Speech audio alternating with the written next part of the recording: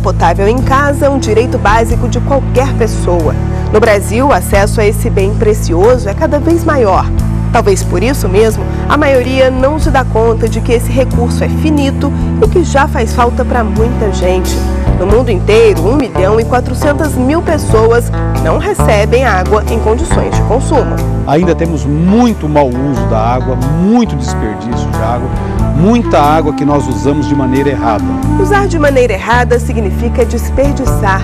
Uma irresponsabilidade que aparece de várias maneiras: na torneira aberta desnecessariamente, no banho longo demais ou em uma rede hidráulica mal feita. Primeiro passo para enfrentar esse problema é entender que o desperdício vai muito além do consumo exagerado dentro de casa. Quando alguém usa água potável para limpar uma calçada ou irrigar o jardim, também está desperdiçando e o volume é grande. Hoje a irrigação é o destino de 70% de toda a água que retiramos de rios e córregos. Nós podemos, em muitos dessa irrigação, usar uma água que foi já servida fazer o reuso dessa água. Então, isso também é um tipo de mau uso de desperdício. É o que acontece nesse e na maioria dos condomínios que mantém área verde. No prédio que tem 96 apartamentos e fica numa região nobre de Brasília, o jardim ocupa uma área de 2 mil metros quadrados. E haja água para deixar o espaço sempre assim, verdinho. A maior parte é tratada e custa caro. Às vezes as pessoas acham que o fato de ter uma irrigação quer dizer que é, é a solução dos problemas, quando na verdade pode não ser essa solução, uma vez que o gasto é muito elevado e acaba não sendo compensatório. A gente tem que driblar o desperdício da água, as reclamações dos moradores. Além disso, a gente tem que sempre estar preocupado com o consumo. A irrigação tem um peso tão grande no valor da conta que, na época da seca, Paulo diz que prefere comprar água de uma empresa privada. Como ajuda para poder manter o jardim verde na medida do possível, a gente contrata aqui no condomínio um caminhão-pipa por semana. É também com caminhões-pipa que o governo de Brasília molha todos os canteiros da cidade. São 700 áreas como essa, espalhadas por toda a capital. No período mais crítico, entre julho e setembro, o serviço chega a consumir 1 milhão e 200 mil litros por dia. Água de excelente qualidade, usada para irrigar jardim.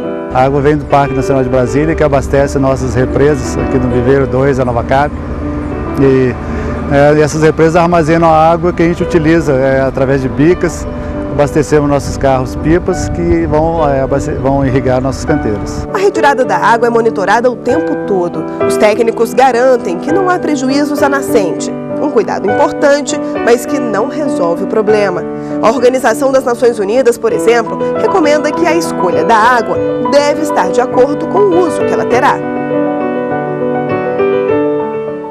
Menos para a irrigação de canteiros, já existe uma alternativa que permite o uso de uma água menos nobre. Pesquisadores da Universidade de Brasília comprovaram que, depois de tratada, a água do esgoto pode ser usada para regar jardins. Hoje, o destino desse produto é o Lago Paranoá. São quase 5 mil litros por segundo. Durante um ano, o químico Alexandre Prado recolheu parte desse líquido em diferentes etapas do tratamento e fez vários testes no solo. Do esgoto secundário, né, do tratamento de esgoto, o esgoto terciário, nós observamos uma carga microbiana muito parecida da água potável no solo, mostrando que não teria efeitos ao ecossistema natural.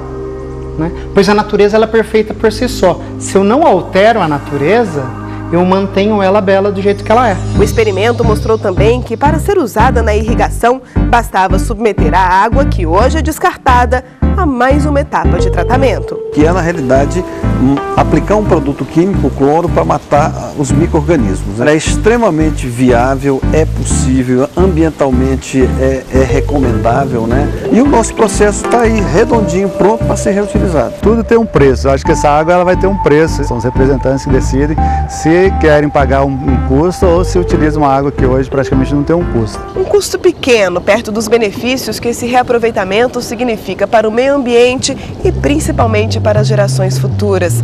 Economizar água potável é a única forma de evitar que uma previsão assustadora se confirme. Se nada for feito, a estimativa é que nos próximos 14 anos a escassez de água seja um problema concreto para 3 bilhões de pessoas em todo o mundo.